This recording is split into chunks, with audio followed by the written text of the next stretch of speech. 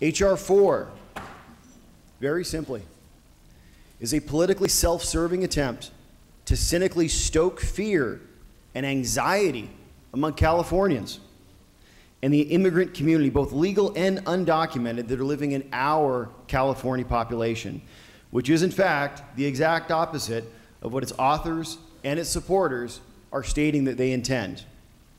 Of course, we all agree that this is a nation of immigrants. Immigrants built America. Their energy and inventiveness, the patriotism with which they have embraced the United States, are contributions beyond measure. They, we, have fought and died for American liberties and our way of life. We are all the fresh blood that keeps America young and renewed. But this resolution, H.R. 4, isn't about recognizing what no one is disputing. Instead, it's reckless demagoguery aimed at instilling fear and making immigrants needlessly anxious and fearful about their future. It is beneath the dignity of this body. Just a few days ago, President elect Trump laid out a threefold approach to immigration on 60 Minutes. He said he would immediately seek to deport all criminal, criminal illegal immigrants.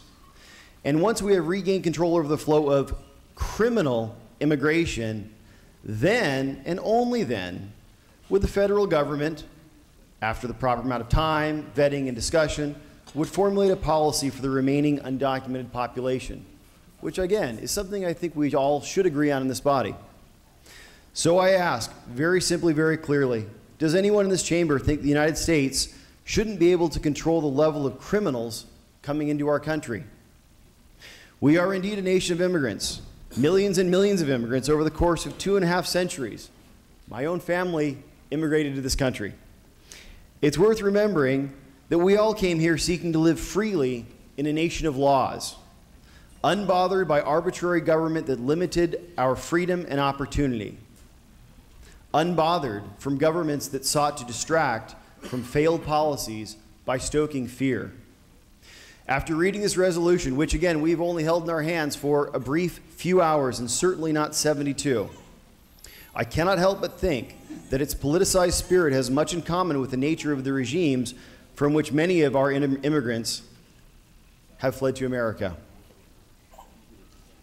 If this body wants to demonstrate its care and concern for the many residents of this state who are immigrants, I suggest we spend our time enacting reforms that will spur job creation, economic opportunity, and upward mobility, enacting reforms that give poor families, many of whom are immigrants, the opportunity to send their children to the school of their choice, passing reforms that reduce income inequality by reducing taxes and expanding opportunities for working people to earn more money, keep it, take it home, and raise their families with.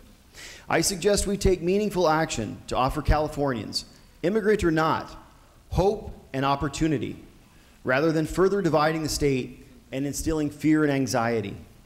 Because last month, members and family, and anyone else who happens to be watching in the media that will be reporting on this, Last month, America spoke. Americans are tired of being ignored. 30 Or- seconds, 30 ordinary, seconds, Mr. Allen. Ordinary, hardworking Americans across the country and in California stood up because they were tired of business as usual. They were tired of being buried under the political agendas of the establishment. And yet here we are ignoring the very real needs of our California residents.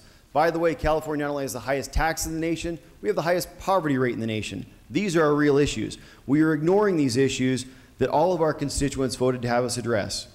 I stand here today to tell you that our people are not political props.